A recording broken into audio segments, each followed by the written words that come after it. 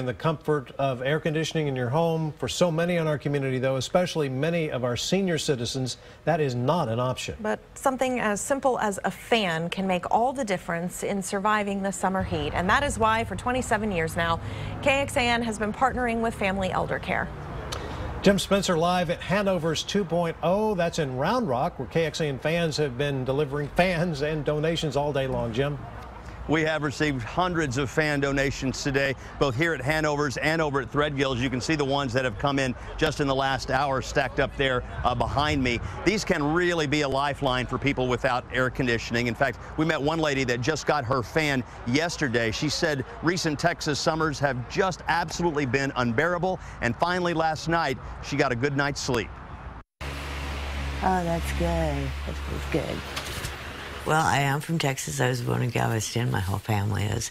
And the heat has gotten so bad as the years are coming by. It's, it's unbelievable. I can turn it down to 50 and it still hits 89.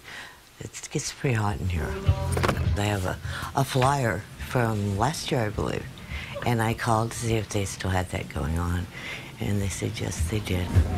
I appreciated that that they bought them because I don't have a car. So you used it for the first time last night? Yes, I did. How was it? It was great. That's probably why it let me sleep long. the fans really do help. Helps a lot. It keeps it cooler. I even put another blanket on my bed.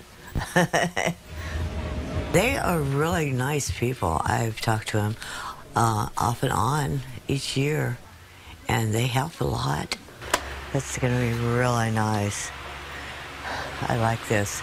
Rotating is going to keep uh, the living room really nice.